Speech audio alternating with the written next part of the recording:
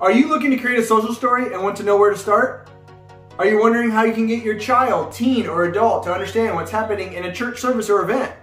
Well, we're going to share with you the social stories that we use for kids that visit our church. Before we go somewhere or do an activity, we do a lot of explaining with Macey with pictures and breaking down the agenda in a first then style. So from our greeters and our Sunday school teachers, an individual might receive a bag that includes information about the church, about us, and social stories. So along with the social stories that we put in these guest sensory bags, we also include an information page. On one side is a map of the church, whether it's the top level, the bottom level, uh, just showing where the bathrooms are at, the mother's room, uh, just a room where someone could go cool down for a little bit if your church provides that. That's great to have a map as a resource. Also another resource is on the front we have our picture, our names and our number that lets someone know, do you need something during service? We're available, text us, let us know. Also, we have a couple that is in charge of inclusion at our church and their pictures on there, their names and their numbers are on there. So if something comes up post service and you have a question, or if you're a caregiver thinking about before service needs and you want to reach out and set up accommodations, we have that available. So on that information page, you've got names, numbers, pictures,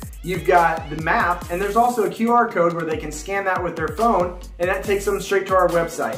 So our website lets them know, you know, all the events, all the resources that go on at the church. So in addition to the information page, once you get into the actual social stories, which you're seeing on the screen, is this is a Sunday social story. So for any age, as they walk into the church and go into the sanctuary, this is what they can expect from the time they walk in to the time they leave.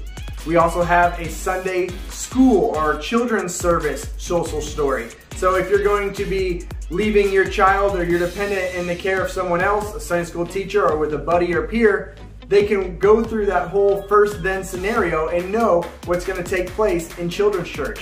And then in addition to Sunday services, we also have a midweek, Wednesday children's church social story that looks a little bit different than the Sunday one where you can see from start to finish what takes place at our midweek service.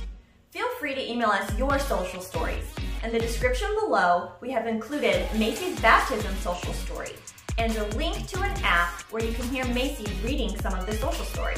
So in addition to providing information about who's available and a map, you know, so where anyone can get on campus during their visit, your Sunday morning in the sanctuary, your children's service, your midweek service, you can also then start creating individualized social stories depending on the event or the situation.